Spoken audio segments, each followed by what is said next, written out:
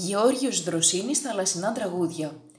Το ποίημα που ακολουθεί προέρχεται από τη συλλογή «Ιδίλια», η οποία εκδόθηκε το 1884 και άσκησε σημαντική επίδραση στην ποίηση της εποχής, με τις νέες εικόνες που έφερνε από την ελληνική φύση, από τον αγροτικό και νησιωτικό χώρο.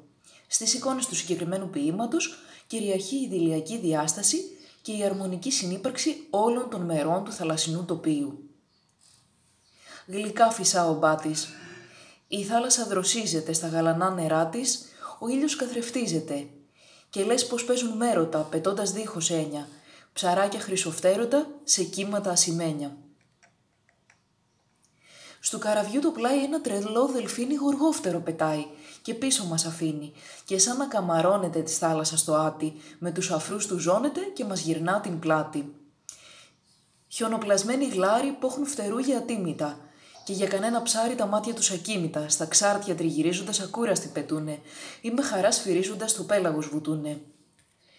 Και γύρω καραβάκια στη θάλασσα αρμενίζουν σαν άσπρα προβατάκια που βόσκοντας γυρίζουν με χαροπά πηδήματα στους κάμπους όλη μέρα και έχουν βοσκεί τα κύματα, βοσκό τους στον αέρα.